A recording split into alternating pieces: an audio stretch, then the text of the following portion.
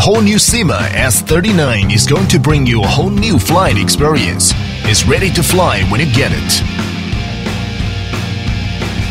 In the following process, you're free to post a video at any time and learn the S39 accessories assembly with us.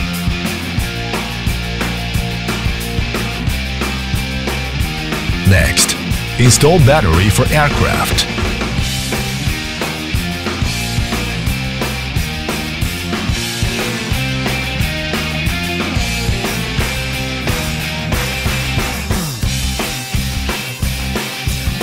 Now, open the remote controller's battery compartment and put the four self-purchased batteries into the battery compartment and finish battery installation. Finally, turn on the controller and aircraft. After matching is done, unlock the aircraft and begin to fly.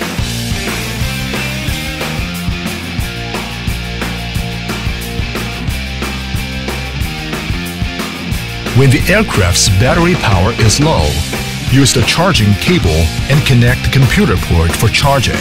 When the indicator goes off, it means charging is finished. Ascend. Descent. Forward. Backward. Left rolling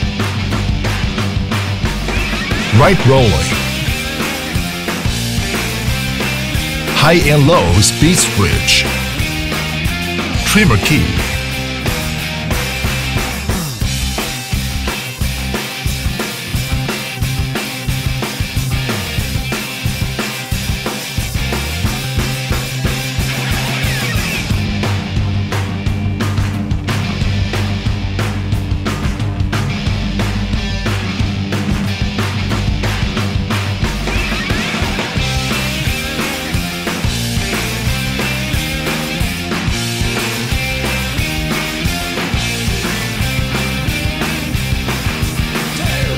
Syma S39 makes flying so easy.